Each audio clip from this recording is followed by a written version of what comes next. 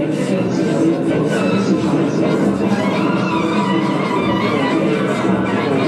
is no God.